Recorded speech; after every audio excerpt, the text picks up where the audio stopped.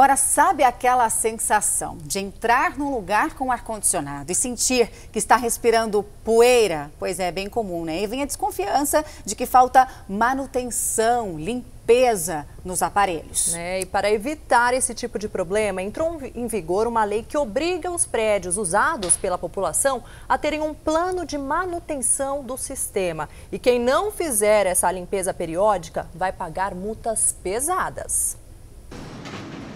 Um ar-condicionado sem manutenção é um risco à saúde, carrega todo tipo de impurezas e micro-organismos. Repare como é um duto de ar sujo e como ele fica depois de uma limpeza. Se torna cada vez mais complexo à medida em que esses sistemas de climatização é, visam abastecer restaurantes, hospitais, centros cirúrgicos, laboratórios de análise, análises clínicas e etc. Todo estabelecimento que tem ar climatizado precisa de um plano de manutenção, operação e controle. A lei obriga a seguir uma série de normas para prevenir doenças. A temperatura deve ficar entre 23 e 26 graus, a umidade em torno dos 50% e a limpeza tem que ser periódica. Nas salas de máquinas, uma vez por mês. E os filtros devem ser trocados a cada três meses. Observe a diferença entre um filtro sujo e outro limpo. É de assustar. Dentro dos dutos, um robozinho faz a inspeção. O técnico da empresa de manutenção se guia por uma câmera e controla o aparelho por meio de um joystick, este acessório que comanda movimentos em jogos de vídeo ou computador. Quando é detectada sujeira, outro equipamento faz a limpeza. A, a indústria se preparou de longa data para poder fornecer tanto equipamentos quanto produtos específicos para a qualidade do ar.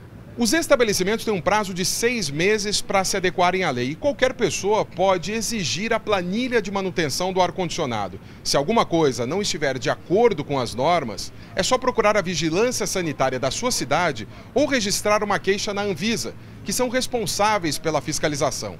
O estabelecimento que não cumprir as exigências depois de notificado vai ter que pagar uma multa pesada. A primeira infração hoje gira em torno de 30 mil reais. Estabelecida essa infração e ela havendo uma reincidência da mesma, se dobra o valor da multa. As instituições do governo e locais públicos com ar climatizado também estarão sujeitos à fiscalização. Para fazer um teste, entramos numa estação de metrô de São Paulo com dois técnicos especializados. A primeira medição mostrou que a temperatura e a umidade dentro deste vagão estão em níveis adequados, mas o aparelho acusou excesso de gás carbônico. O limite permitido é de mil partículas por milhão, mas a medição apontou 50% a mais. Quando a quantidade de pessoas é excedida, o aparelho ele não consegue dar uma a renovação adequada do ar. Trocamos de linha e neste outro vagão o aparelho de novo indicou qualidade do ar ruim.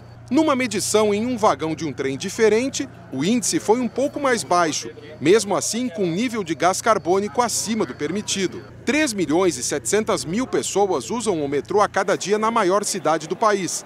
Gente que paga por um serviço com ar climatizado, mas nem sempre tem a qualidade que gostaria. Principalmente porque muita gente, né? A gente consegue perceber isso.